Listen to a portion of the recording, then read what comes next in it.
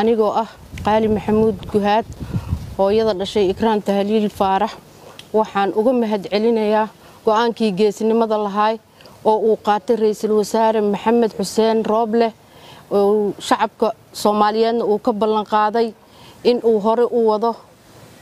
Yaan uga mahad celinayaa cadaalad u raadinta ikraan tahliil inuu maxaan ku raadaayay hore u wado. Waxaan halkan digniin uga dirayaa madaxweynaha mudaxileedkiisa dhammaaday maxamed cabdulaahi farmaajo.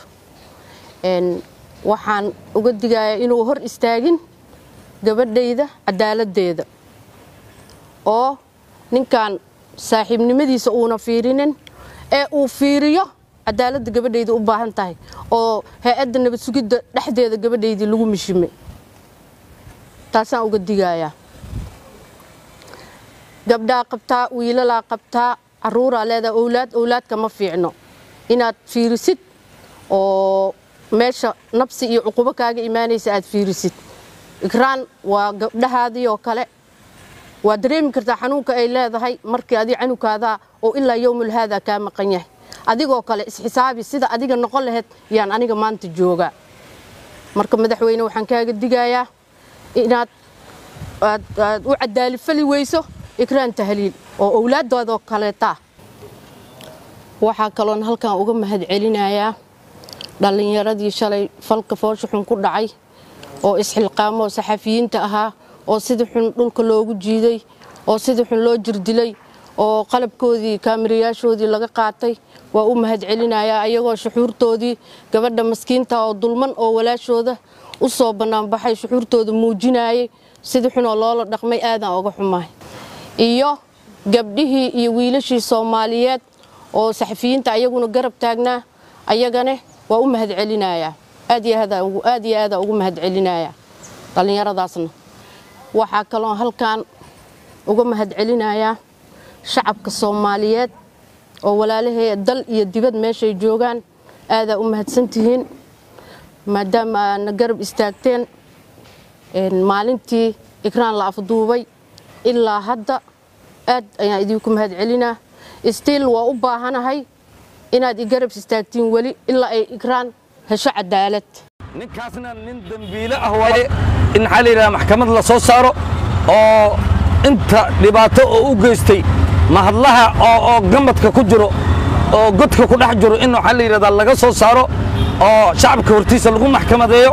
Wixii xaq shacabka oo dhibaatada oo u geystay afarta sano oo farmaajo oo la joogay.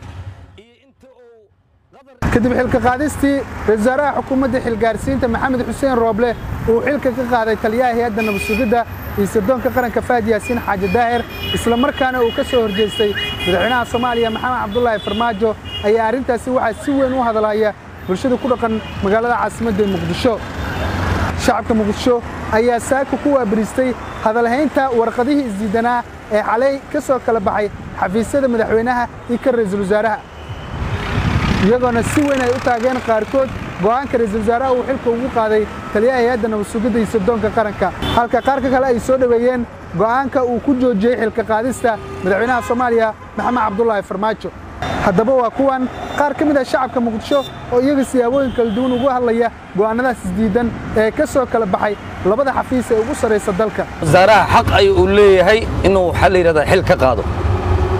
Sababtoo ah mas'uulka oo xukuumadda ugu sarreeyo haddii madaxweynaha laga reebo asiga waaye. Xilka qaadistiisa oo waajibiyan ah waaye. Ninkaasna nin dembiile ah waaye in maxaa la yidhahdaa maxkamad la soo saaro oo inta dhibaato oo u geystay mahadlaha oo gamadka ku jiro oo godka ku dhex jiro in waxaa la yidhahdaa laga soo saaro oo shacabka hortiisa lagu maxkamadeeyo wixii xaq shacabka oo dhibaatada oo u geystay afarta sano oo farmaajo oo la joogay iyo inta uu qadar iyo waxaa la yidhahdaa dowladaha shisheeye oo u shaqeeyahay ninkaas in shacbiga soomaaliyeed ay waxaa la yidhahdaa hortooda lagu maxkamadeeyo والله دبعا عن ليك را دبعا كيس لو بهني هاي دبعا وزير كان ليه قاشان لقيه وزير كأمنية إن معنا أي حاليا دبعا مناسب ماها إن طبعا ساعدنا الوزارة إن مذحينا سكوب سن سبتو هاي دبعا عن قياس كرتا إن الوزارة رنتا إن سوق كرتا غير ذي هدبا ما هي الحلو بهنا أمن يجرو وحجرو عن ليه دبعا سركيل يجبتو مناسب ماها إن عمرك رو حلو بهنا برامج كا دبعا ما دام هي دنا وسقوط برامج كا كيس كيس كان معنا جوده ولا لا هذا معنا قبل سنتهاي إن أرنتاس مكو حلو بهنا إن أرنتاس أي ayada gudaha u gasho laakiin hadda wixii dhacdaba ra'iisul wasaarihi soo galay waraqaduu soo saaray asoo xigsanaayo qodobka dabcan dastuurka ilaa marka dabcan waxaan dhihi karaa ra'iisul wasaaraha xaq ayuu u leeyahay maxaa yeele barqacad ayaa madaxweynaha ku wareejiyey xilka. Marka waxaan leenahay ra'iisul wasaaraha waxaan leenahay shacabka Soomaaliyeed aan nahnay waxaan ku leenahay insha Allah ka shaqeey doorasho dabcan la wada siman yahay. Arrimahan hadda socdo oo kiiska ikraan tahliil waa runtii waa arrin siyaasadeed waxay ku maqan tahay in anigu haddaan laayo lacag ma sheegi karno. Dadkuna hadda wuxuu u badan yahay inay dhimatay. Laakiin madaxdii niisa xukuntay. Ikraan keliya in lagu eedeeya maahan ikraan keliya in lagu eedeeya maahan waxa maqan toddoba kun iyo siyaadaa toddoba kun oo wiil oo siyaadaa oo aniga qaaraan dhalay ay ku dhinteen weli wax dawladda ay ka soo shay qaadayso ama wax ka soo baxaya odagaan cabaaday arrintiisa ha la xalliyo kama maqlin. Shalay wax shalay loo dhiibo wax saxay ahaayeen. Laakiin ninka u malayna magacyoolta magacyool maahan. Ra'iisul wasaaraha awooda u leeyahay inuu xilka inuu qofka inuu ka qaadi karo. Sababtoo ah shalay markii la qabsaday maxaa loogu dhiibay isaga xilka? Labada waraaqdo waraaqda ra'iisul wasaare ayaa saxsan. Waa fikirka aniga aan qabo waay waxay ku saxsan tahay waxaa waaye meesha loo socdo dhan waa la ogyahay. Gabadhan inay cadaalada shal loo baahan yahay igraan aniga shacabka haddaanna waa taageersannahay waa waana garab taagannahay waddanka inuu hor u socdaan rabnaa. Xilka qaadista lagu sameeyey ee faad yaasiin xaaji daahir ayaa salka waxay ku haysaa arrinta kiiskiis garaan tahliil oo ka mid ahayd saraakiisha hay'adda nabadsugidda iyo sirdoonka qaranka taasoo ay nabadsugidda soomaaliya ay sheegtay inay dileen dagaalamayaasha al-shabaab walow al-shabaab ay iska fogeeyeen.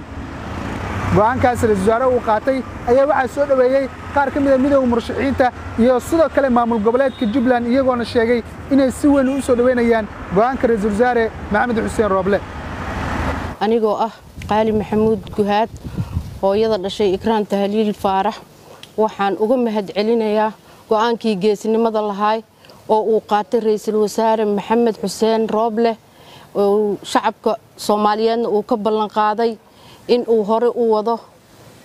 Yaan uga mahad celinayaa cadaalad u raadinta ikraan tahliil inuu maxaan ku hore u wado.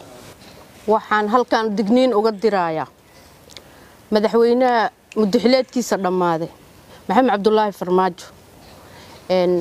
Waxaan uga digayaa inuu hor istaagin gabadhayda cadaaladdeeda oo ninkan saaxiibnimadiisa uuna fiirinin ee uu fiiriyo cadaaladda gabadhayda u baahan tahay oo hay'adda nabad sugidda dhexdeeda gabadhaydii lagu mishimay taasaan uga digayaa. Gabdhaa qabtaa wiilalaa qabtaa caruuraa leedaha owlaad owlaadka ma fiicno. Inaad fiirisid oo meesha nabsi iyo cuqubo kaaga imaanaysa aad fiirisid. Ikraan waa gabdhahaadii oo kale. Waa dareemi kartaa xanuunka ay leedahay markii adi canugkaadaa oo ilaa yowmul haadaa kaa maqan yahay. Adigoo kale isxisaabi sida adiga noqon lahayd yaan aniga maanta joogaa marka madaxweyne waxaan kaaga digayaa inaad aad u cadaali fali weyso ikraan tahliil oo owlaaddoodoo kaleetaa waxaa kaloon halkan uga mahad celinayaa dhallinyaradii shalay falka foosha xun ku dhacay oo isxilqaamo oo saxafiyiinta ahaa oo sida xun dhulka loogu jiiday oo sida xun loo jirdilay oo qalabkoodii kaamirayaashoodii laga qaatay waa u mahad celinayaa ayagoo shuxuurtoodii gabadha maskiinta oo dulman oo walaashooda u soo bannaanbaxay shuxuurtooda muujinayay sida xunoo loola dhaqmay aadaan uga xumahay iyo gabdhihii iyo wiilashii soomaaliyeed oo saxafiyiinta ayaguna garab taagnaa ayagane waa u mahad celinayaa aad iyo aad iyo aada ugu mahad celinayaa dhallinyaradaasna waxaa kaloo halkan uga mahad celinayaa shacabka soomaaliyeed oo walaalahee dal iyo dibad meeshay joogaan aadaa u mahadsantihiin maadaama aadna garab istaagteen maalintii ikraan la afduubay ilaa hadda. Aad ayaan idinku mahad stiil waa u baahanahay inaad i istaagtiin weli ilaa ay igraan hesho cadaalad